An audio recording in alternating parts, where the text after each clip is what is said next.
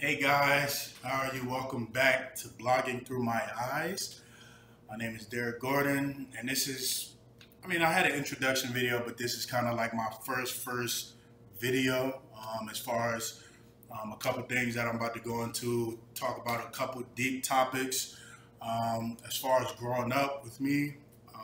Because um, everybody looks at me now and probably says, wow, like this is such a great guy, an amazing guy, he's friendly, he's nice, he's he loves to help people, etc. Um, yes, I am like that, but I do have a past as well, um, and I would like to share that with you guys.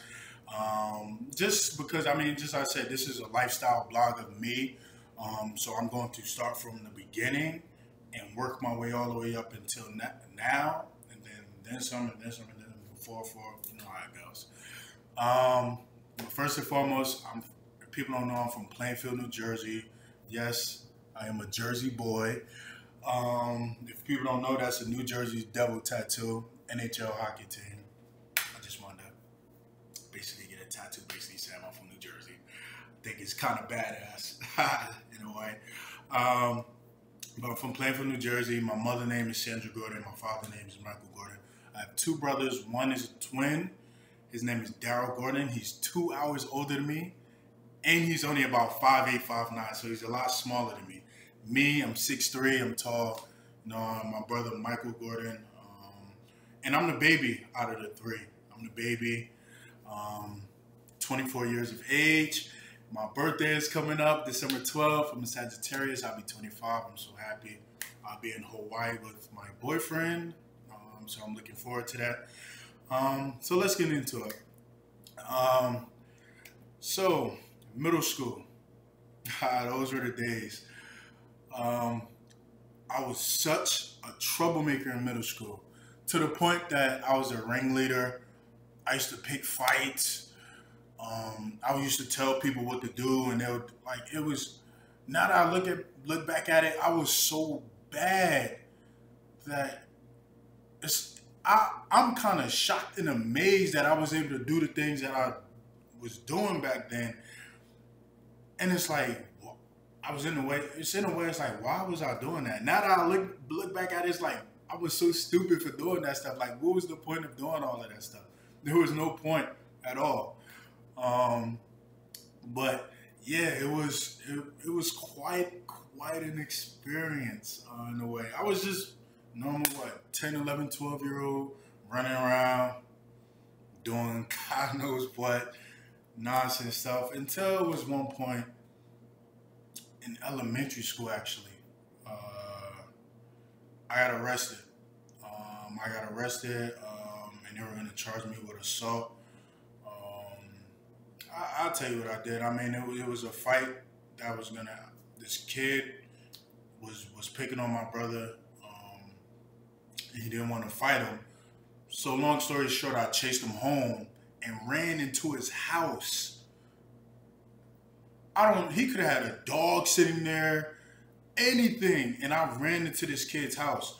Come to find out, this all happened on the school property. And when I ran to go chase him home, he lived literally two, three houses, like two, three houses away from where the school was. And the principal was sitting right there when I was doing it. I didn't even know. Next day, police officer was there arresting me. So my mom came to pick me up from jail because um, I was only a minor and they didn't charge me, so she came to pick me up. She, crying nonstop, just crying. Oh my gosh, like, why are you doing this? I don't want this lifestyle for you. And it hit me. It hit me in a way because I don't want to. I don't want to see my mom crying, and she was crying. Like it really, I'm starting to tear up a little bit just thinking about it because I'm I really hurt my mother by doing what I did, and I'm I'm sorry for doing what I did. But you know what? In the long scheme of things, it changed me in a way because I'm not. It changed me in a way. I didn't just do a 360. I did a 720 and changed my complete personality as far as friends, everything. Um, but that happened in elementary school. Unfortunately, when middle school came up, I, it didn't change me that much because I was still doing the same stuff.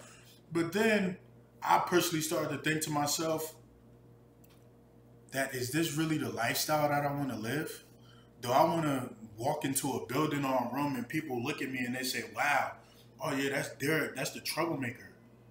Like I don't want to live like that. Like I, I, I want to be somebody in this world, and and that's what I was thinking about. I said, I want to be somebody. I want to be somebody as far as people can look up to me, people can come to me for advice, etc. That's the person that I want to be.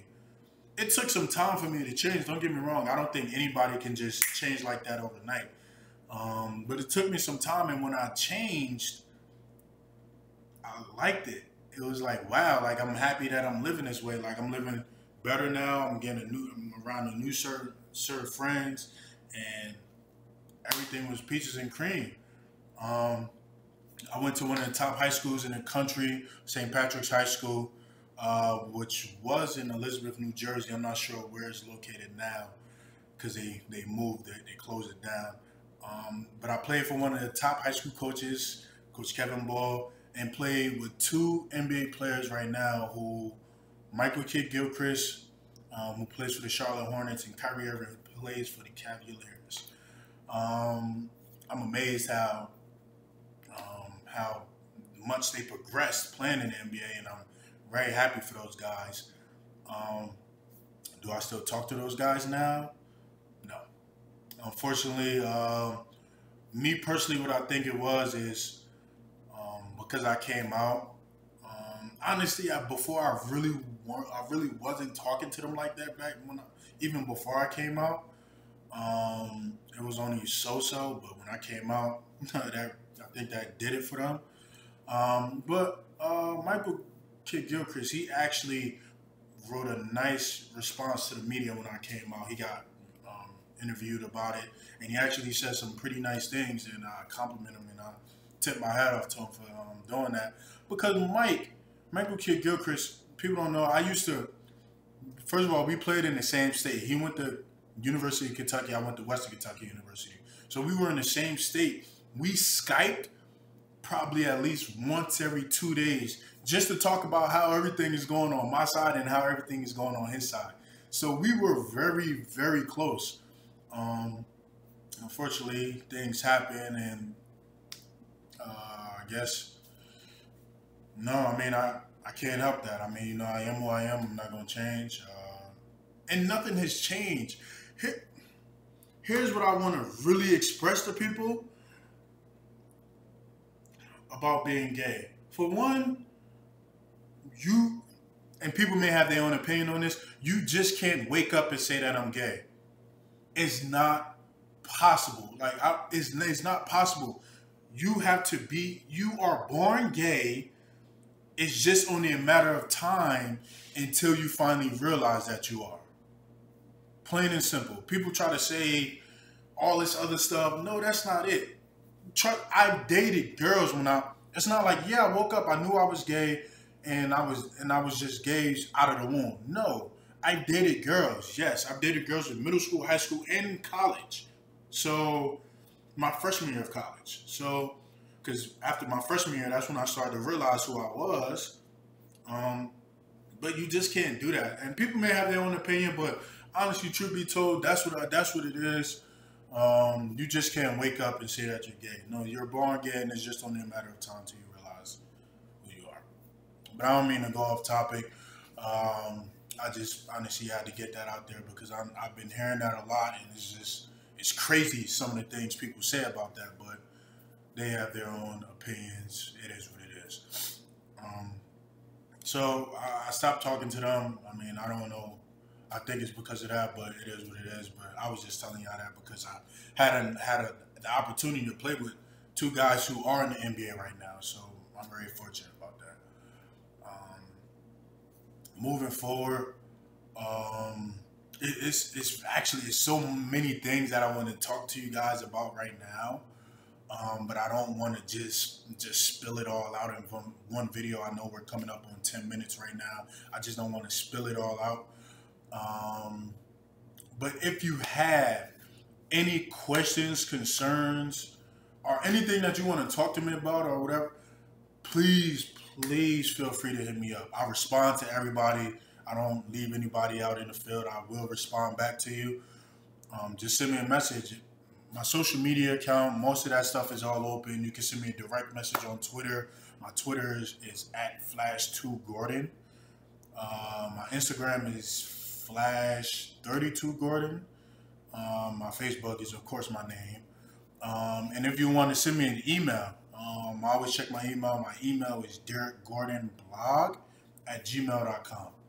Um, but there's so many, just I said, there's so many things that I want to share with you guys.